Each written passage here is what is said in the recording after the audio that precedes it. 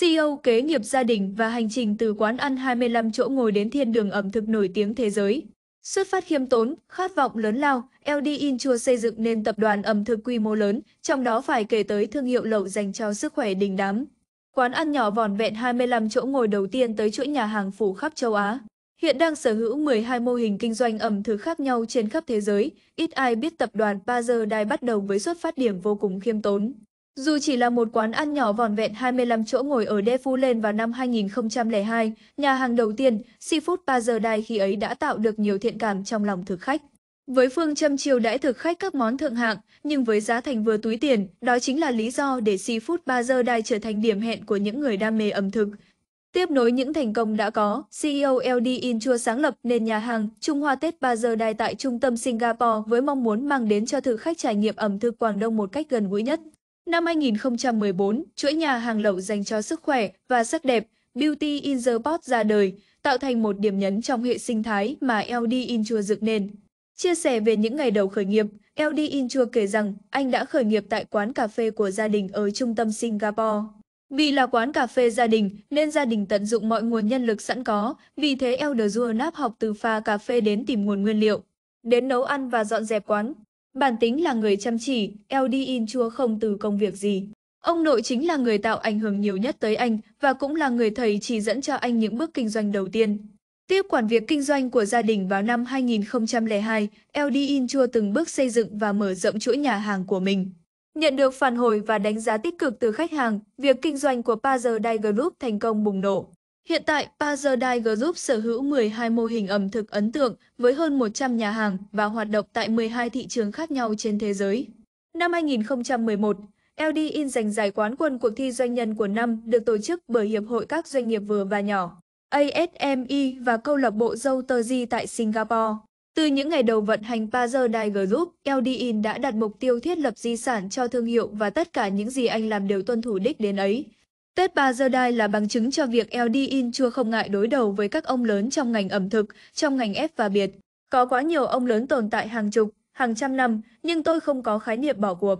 Tôi muốn các nhà hàng thuộc chuỗi Ba Giờ Đai xuất hiện trong tâm trí khách hàng đầu tiên mỗi khi họ nghĩ đến ẩm thực Trung Hoa chất lượng, Chua không ngần ngại bày tỏ mong muốn mang tới trải nghiệm ẩm thực chân thật nhất với dịch vụ tận tâm, khiến thực khách đắm chìm trong những nét đặc sắc của của văn hóa Trung Hoa. Đặc biệt là những món ăn ngon nhất từ chuỗi ẩm thực phong phú này, không chỉ là ẩm thực, mỗi món ăn trong thực đơn đều ẩn chứa vẻ đẹp và bề dày văn hóa. Văn hóa chính là cốt lõi, là nguồn cội trong mục tiêu kinh doanh mà tôi muốn truyền bá, gửi gắm. S, P, I, G, I, T trong vận hành, tạo thước đo mới cho niềm vui ăn uống nuôi khát vọng trở thành thiên đường ẩm thực phương Đông và phát triển các thực đơn kết hợp giữa yếu tố truyền thống, hiện đại và không ngừng đổi mới.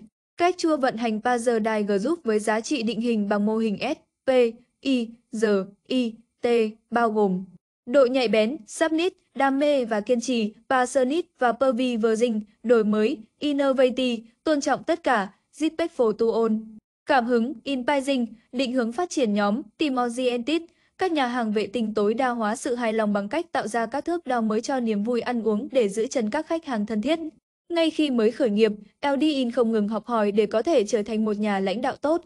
Chịu trách nhiệm với nhân viên của mình là một trong những bài học chính yếu. Chính vì thế, anh hiểu rõ tầm quan trọng của việc truyền cảm hứng và tạo động lực cho nhân viên. Đây cũng chính là kim chỉ nam để LDIN xây dựng một mô hình kinh doanh bền vững. Với phương châm cải thiện, nâng cao và tạo ra những trải nghiệm mỹ vị độc đáo sau nhiều năm phát triển, vẫn một tôn chỉ duy nhất.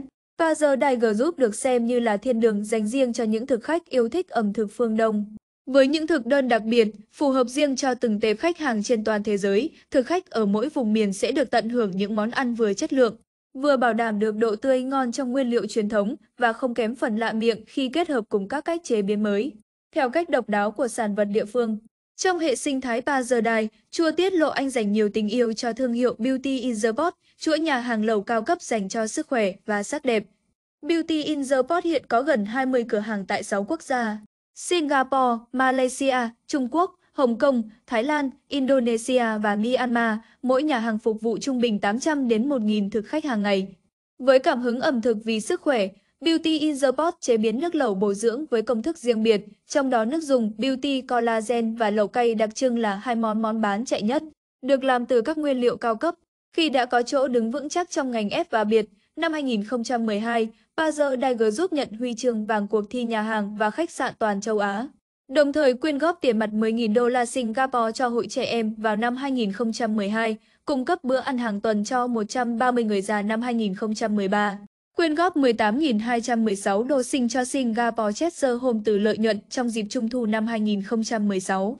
Năm 2021, Ba giờ đài Dynasty và Leisure Gym Ramen khai trương tại Mỹ là bước đầu trong chuỗi mục tiêu đạt được 150 nhà hàng năm 2024 và 200 nhà hàng năm 2026 trên khắp thế giới.